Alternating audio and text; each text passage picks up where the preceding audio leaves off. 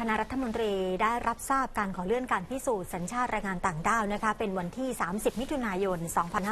2561 ด้านนายกรัฐมนตรีได้ขอบคุณข้าราชการทุกกระทรวงค่ะที่ทำงานเพื่อประชาชน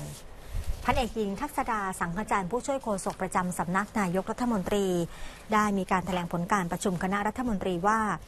พลเอกประยุทธ์จันโอชานายกรัฐมนตรีได้กล่าวในที่ประชุมฝากคำอำพอวนอำนวยพรนะคะถึงข้าราชการทุกกระทรวง ดยขอบคุณที่ทำงานเพื่อประชาชน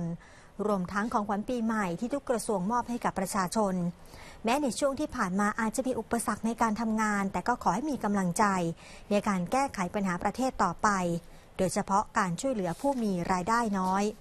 ที่ประชุมคณะรัฐมนตรียังรับทราบตามที่กระทรวงแรงงานเสนอขอเลื่อนการดำเนินการพิสูจน์สัญชาติแรงงานต่างด้าว จากเดิมที่มีกำหนดสิ้นสุดภายในวันที่ 31 มีนาคม 2561 ขยายเป็นวันที่ 30 มิถุนายน 2561 โดยมอบหมายให้นายวิษณุเครืองามรองนายกรัฐมนตรีฝ่ายกฎหมาย หารือกับหน่วยงานที่เกี่ยวข้องว่าจะแก้ไขกฎกระทรวง หรือออกเป็นคำสั่งมาตรา 44 ในการขยายระยะเวลา